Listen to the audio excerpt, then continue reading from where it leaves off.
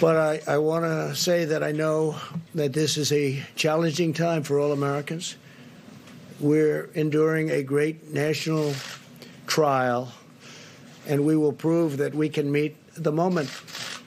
I want to assure the American people that we're doing everything we can each day to confront and ultimately defeat this horrible, invisible enemy. We're at war. In a true sense, we're at war, and we're fighting an invisible enemy. Think of that.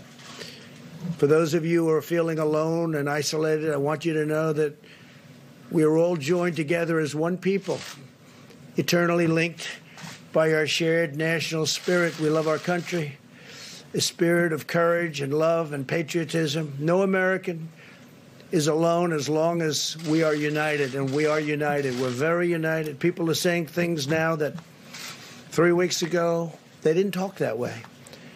We're very united. No force is equal to the strength of a uni- really a unified America, united America, an America like we have it right now.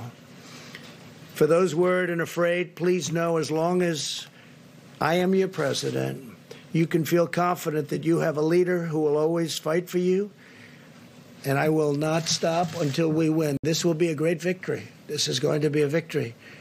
And it's going to be a victory that, in my opinion, will happen much sooner than Uh, originally expected.